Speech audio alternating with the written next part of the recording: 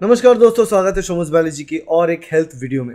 और इस वीडियो में हम बात करेंगे best antiseptic creams for wounds in India मतलब इंडिया में जितने भी एंटीसेप्टिक क्रीम्स या ऑइंटमेंट्स अवेलेबल उनमें से बेस्ट एंटीसेप्टिक ऊन क्रीम क्या है, जो हम घाव के लिए इस्तेमाल कर सकते हैं, जो आप बर्न मतलब जलने के लिए इस्तेमाल कर सकते हो। तो अगर जल जाता है किसी जगह का स्किन या फिर कोई प्रकार का घाव होता है कोई इंजरी होता है तो वहाँ पर स्किन डैमेज होता है हमारा। और स्किन डैमेज होने के साथ साथ इन्फेक्शन का चांस बढ़ता है, क्योंकि शरीर का सबसे बड़ा अंग होता है स्किन जो शरीर को पूरे, पूरा एरिया से कवर करके रखता है, कुछ जगह छोड़कर।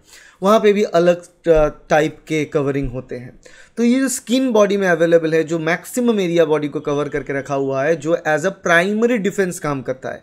इम्यून सिस्टम का प्राइमरी डिफेंस हम बोलते हैं बॉडी की प्राइमरी डिफेंस जो होता है स्किन होता है। जैसे कि बहुत बड़ा दीवार हो जिसको फांद के बैक्टीरिया को अंदर आना हो। तो स्किन में कहीं भी तरह का कट लग जाना कहीं भी तरह का घाव हो जाना, उसके साथ साथ अगर वो बर्न होता है मतलब वो जल जल जाता है किसी कारण तो उसमें भी स्किन डिजरप्ट होता है। और स्किन जब भी डिजरप्ट होगा, तभी चांस बनता है कि बैक्टीरिया, वायरस, प्रोटोजोआ, किसी भी तरीके का ये जो अलग अलग प्रकार के पैथोजेंस है, वो अंदर आएगा।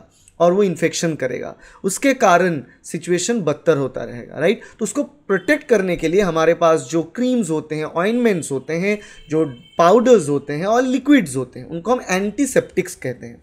तो अलग अलग प्रकार के एंटीसेप्टिक्स मार्केट में अगर आप जाएँगे तो हज़ारों प्रकार के एंटीसेप्टिक्स अवेलेबल होंगे। सारे के सारे एंटीसेप्टिक्स का एक ही मतलब होता है कि उसमें सब में कुछ ना कुछ एंटी बैक्टीरियल प्रॉपर्टी होता है एंटी माइक्रोबियल प्रॉपर्टी होता है। तो ये जो एंटी बैक्टीरियल प्रॉपर्टी है मतलब वो बैक्टीरिया को मारेगा।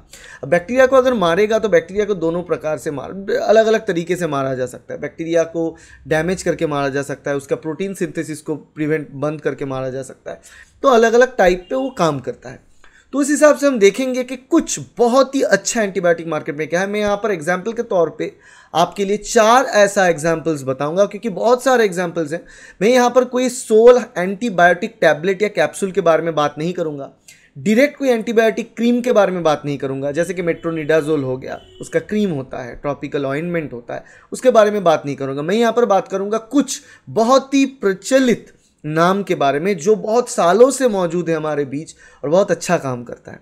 तो पहली जो पहला जो एग्ज़ाम्पल यहाँ पे मैं बताऊँगा आपको, वो होता है Neosporin Neosporin powder Neosporin powder जो पिक्चर आप देख सकते हो यहाँ पर न्यूस्पोरिन पाउडर इतना ट्रस्टेड एक नेम इतना ट्रस्टेड एक ब्रांड क्योंकि ये जो पाउडर है, मैं जब छोटा था, तब से लेकर आज देखता आ रहा हूँ, और मुझसे भी पहले, एक दो, एक जनरेशन पहले भी ये पाउडर मौजूद था मार्केट में, और this is one of the best I mean one को छोड़ भी देते दी बेस्ट जो एंटीसेप्टिक एंटीसेप्टिक पाउडर होता है, जो अवेलेबल है मार्केट में, क्योंकि न्यूस्पोरिन पाउडर में तीनों प्रकार के एंटीबायोटिक एक साथ होता है तो three in one antibiotic powder है ये। इसमें नियोमाइसिन है, इसमें पॉलीमिक्सिन बी है, ठीक है, और इसमें बेसिट्रसिन है। ये तीन अलग अलग एंटीबायोटिक्स हैं और तीन अलग अलग एंटीबायोटिक्स हर प्रकार के बैक्टीरिया को ढूंढ ढूंढ के मारता है। क्योंकि स्किन हमारा एक ऐसा जगह होता है, जहाँ पे स्किन सरफेस में बहुत सारे बैक्टीरिया हर वक्त मौजूद होता है, क्योंकि एयर में बैक्टीरिया है और ये बैक्टीरिया स्किन के ऊपर डिपॉजिट करता है, मगर वो अंदर नहीं जा सकता क्योंकि स्किन हमको प्रोटेक्ट करके रखा हुआ है। जब भी स्किन में कोई डैमेज आता है मान लो वो कट के वजह से, ऊन के वजह से हुआ, घाव के वजह से हुआ, या फिर वो हो सकता है कि जलने की वजह से हुआ। वो जलने की वजह से स्किन जब जल जाएगा तो बाकी स्किन के निचले वाले जो हिस्से, वो एक्सपोज हो जाएगा।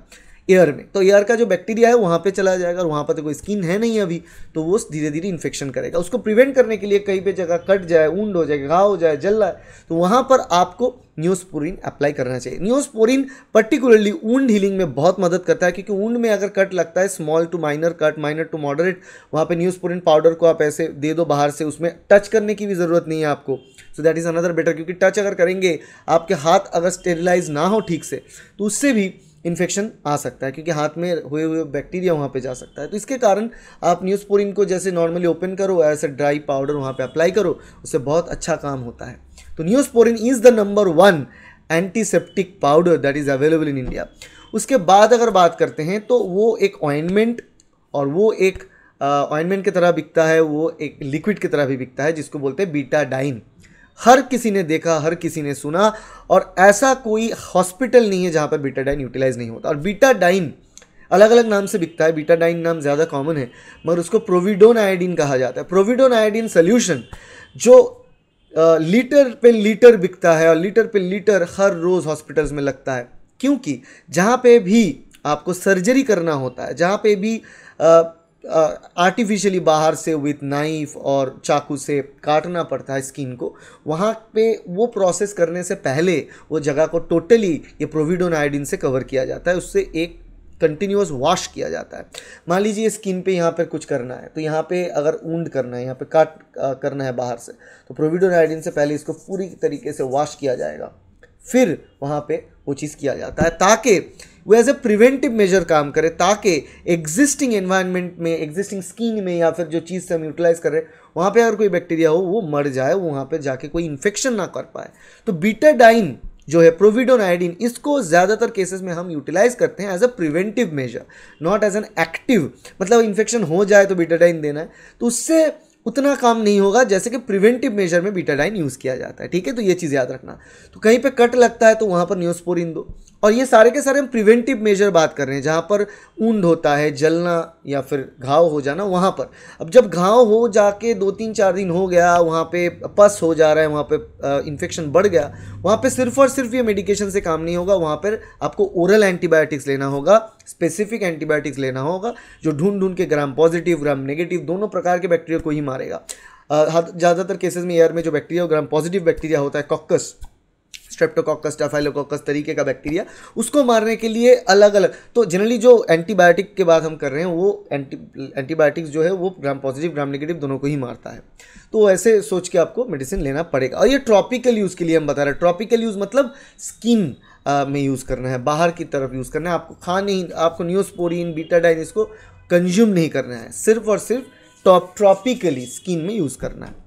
अब आते हैं सेकंड कंडीशन पर। सेकंड कंडीशन मतलब पहले तो ऊंड हो गया, घाव हो गया यहाँ पर। तो एक में तो न्यूज़ पोरिन मैंने बताया ऑल इन वन मेडिकेशन है। और दूसरा जो एग्ज़ाम्पल है बीटाडाइन अब बीटाडाइन देखो बीटाडाइन लोशन आता है। जो बीटाडाइन लोशन आता है, उसको यूटिलाइज करना होता है। जब ड्रेसिंग किया जाता है किस जगह को उसमें बीटाडाइन ड्रॉप पानी में देकर, गर्म पानी में, उबला हुआ पानी में बीटाडाइन देकर उसको वॉश किया जाता है। तो it's a normal process of wound dressing जिसमें बीटाडाइन यूज़ किया जाता है एज ए बीटाडाइन ड्रॉप एक प्रकार के बीटाडाइन ड्रॉप लिक्विड है, जिसको हम यूज़ करते हैं फॉर गार्गलिंग तो जब आपको फेरिंजाइटिस हो जाता है, वो वायरल हो या फिर बैक्टीरियल हो, वो फेरिंजाइटिस के कारण जब बहुत दर्द होने लगता है, आप स्वालो नहीं कर पाते चीज़ों को ऐसे बहुत दर्द होता है यहाँ पर। और यहाँ पर ऐसे इन्फेक्शन के कारण बहुत सूजन हो जाता है, अंदर लाल हो जाता है। तो तब जाके गार्गलिंग करना होता है वहाँ पर जो बैक्टीरियल इन्फेक्शन है उसको ट्रीट करने के लिए। तो तब बीटाडाइन गार्गलिंग जो सोल्यूशन है वो दिया जाता है। तो देखो बीटाडाइन का सोल्यूशन देखने में सिमिलर लगता है। डार्क ब्राउन कलर का ब्लड जैसा दिखता है काइंड kind ऑफ़ of. तो वो जब होता है, वो देख के आपको लेना है। अगर आपको गार्गलिंग करना है तो गार्गलिंग वाला लेना है। अगर आपको यूटिलाइज करना है फॉर ऊन ड्रेसिंग वो अलग लिक्विड होता है। तो अब जब मार्केट से खरीदो आप दुकान से खरीदो यहाँ पर तो आप जाके बताएँ कि आप किस पर्पस में यूज़ करना चाहते हैं। या फिर ऑइंटमेंट फॉर्म में आता है जिसको आप नॉर्मली किसी घाव पे अप्लाई कर सकते हो बाहर से। ठीक है?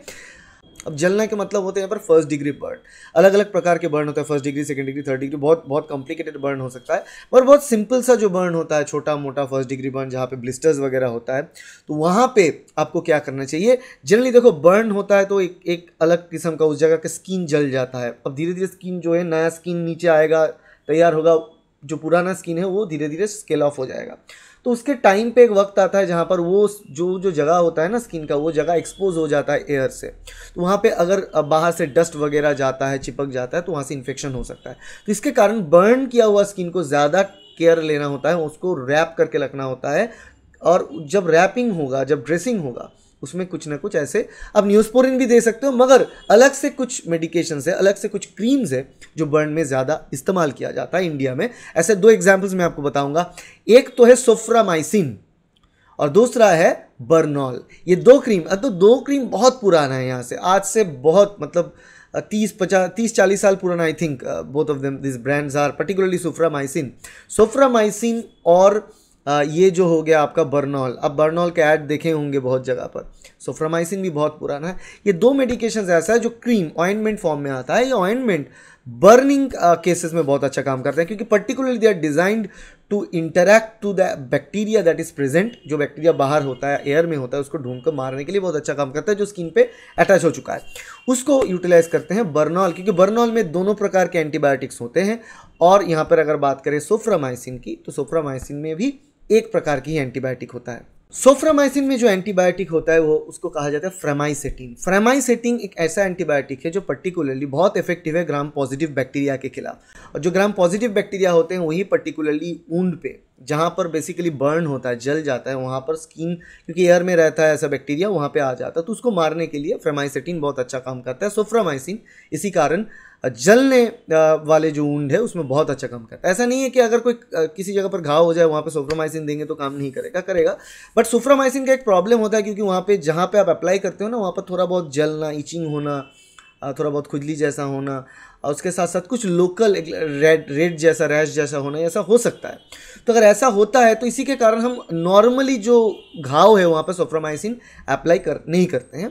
हम सिर्फ़ ऊन में ही मतलब जो जल जाना, वहीं पे यूज़ करते हैं। तो बर्नॉल में एमिनाक्रीन और सेट्रीमाइड बोल के दो अलग अलग टाइप के एंटीबायोटिक प्रॉपर्टी होता है। तो ये दो अलग अलग एंटीबायोटिक्स वो बर्नॉल में मौजूद है। Burnol with the help of this two antibiotics वो बैक्टीरिया को मारता है, जो ग्राम पॉजिटिव बैक्टीरिया हो या फिर ग्राम नेगेटिव बैक्टीरिया हो, उसको ख़त्म करता है। तो इस हिसाब से देखो, बर्नॉल का इस्तेमाल भी अच्छा होता है ड्यूरिंग जो घाव जिस कारण होता है, किस कारण? जलने के कारण होता है। तो घाव का दो प्रकार यहाँ पर समझ ले। एक तो हो जाता है नॉर्मल सा घाव, कोई भी एक्सीडेंटल घाव और दूसरा होता है जल जाना, ठीक है? अब देखो, घाव अगर ऐसा होता है, कोई इंसेक्ट बाइट से होता है। मच्छर का काट दिया। मच्छर नहीं, सिर्फ़, मच्छर तो खैर, छोटा बहुत काट होता है तो बाकी के कोई अगर इंसेक्ट काटा उसके कारण, या फिर कोई अलग से जीव आपको काट दे तो वो नॉर्मल नहीं कहलाएगा, वो तीसरी टाइप का हो जाएगा, क्योंकि कोई नॉर्मल कोई अलग एनिमल आपको जाके काटे, कोई अलग पशु आपको काट दे तो वहाँ पे क्या होता है, क्योंकि उसके मुँह के अंदर बहुत बैक्टीरिया होता है, क्योंकि लोगों, हम के मुँह, हमारे मुँह के अंदर भी बहुत सारे बैक्टीरिया तो वो इन्फेक्शन के चांस जो है और बढ़ जाता है। तो तब जाके ज़्यादा सीरियस होना है आपको, उनका ड्रेसिंग पहली दफ़ा बहुत अच्छा करना है, वहाँ पे कोई डस्ट आ जाए, मिट्टी लग जाए, ऐसा नहीं करना है। उसके साथ साथ आपको क्या करना होता है, आपको चेक करना होता है कि कौन सी एनिमल आपको काटा। उस हिसाब से अगर टॉक्सॉइड चाहिए आपको, क्योंकि उसमें अगर जहर है टॉक्सिन है तो उसको फाइट करने के लिए एक पर्टिकुलर इंजेक्शन चाहिए होता है, उसको आपको लेना होता है। उसके साथ साथ आपको एंटीबायोटिक ट्रीटमेंट चाहिए होता है और ओरल एंटीबायोटिक मतलब मुँह से भी एंटीबायोटिक टैबलेट या कैप्सूल आपको लेना पड़ेगा। तो ये सारे एंटीबायोटिक जो ऑइनमेंट के बाद हमने यहाँ पर किए, चार एग्जाम्पल्स के बात किए, यहाँ पर न्यूस्पोरिन ऑइनमेंट के बात किया बीटाडाइन की बात किया, उसके बाद बात किया सोफ्रोमाइसिन और उसके बाद हमने बात किया बर्नॉल ये सारे के सारे एंटीबायोटिक के तौर पे और प्रिवेंशन एंटीबायोटिक के तौर पे, या फिर प्राइमरी एंटीबायोटिक के तौर पे काम आता है जब आपको ऊंड जो घाव है, पहले दफ़ा है, या फिर जो घाव है वो जलन के कारण पहला दफ़ा बना है। अगर ये प्रोग्रेस कर जाए तो सिर्फ़ और सिर्फ़ ये ट्रॉपिकल ऑइनमेंट से काम नहीं चलेगा, आपको एंटीबायोटिक मेडिकेशन भी लेना पड़ेगा, उसके लिए डॉक्टर के पास जाना पड़ेगा और एंटीबायोटिक का डोजेज सेट करके उसका मेडिकेशन कंप्लीट करना पड़ेगा। तो ये चीज़ याद रखना, अगर ऐसे कोई ना कोई प्रॉब्लम आता है generally due to the skin जहाँ पे स्किन में कोई प्रॉब्लम आ रहा है तो ये सारे एंटीसेप्टिक्स आप प्रेफर कर सकते हो। This is one of the best antiseptics in India तो यही बात होता है आज के वीडियो में कि इंडिया का बेस्ट एंटीसेप्टिक्स क्या है। और ये एंटीसेप्टिक वीडियो अगर अच्छा लगे तो वीडियो को लाइक करना शेयर करना अपने दोस्तों के साथ फैमिली मेंबर्स के साथ कलीग्स के साथ। और चैनल को सब्सक्राइब करना, क्योंकि ऐसे वीडियो हम फ्यूचर में भी बनाएँगे। Thank you bye